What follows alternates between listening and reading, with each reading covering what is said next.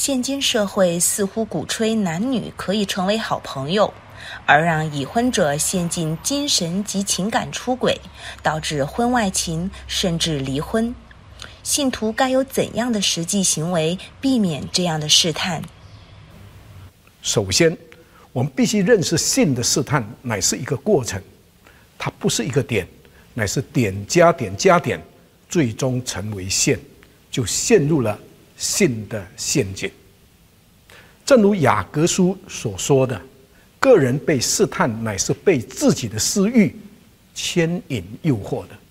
私欲既怀了胎，就生出罪来；罪既长成，就生出死来。”一般上，一个人陷入性的陷阱有三步棋：第一，被吸引，认为对方很可爱。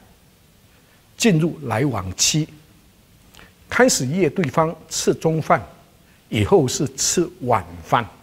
开始的时候是在大众的地方吃饭，后来是到隐秘的地方吃饭。第二，性幻想期，脑海中一直想念着对方，在梦境中也梦见对方，甚至幻想与对方发生亲密的关系。最后就陷入了成熟期，很快的就陷入了性的陷阱。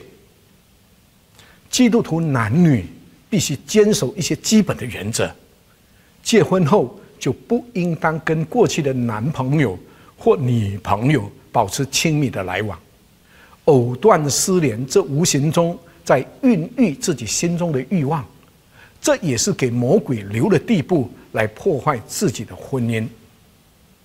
相反的，要努力营造自己美好的婚姻生活，与自己的配偶有和谐的关系，这才是抵抗陷入性诱惑的最佳途径。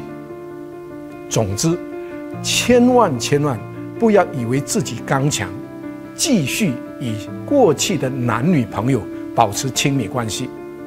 像大卫一位如此敬畏上帝的人，也会陷入性的陷阱。我们也没有例外，在基督里谨慎自己显得格外的重要。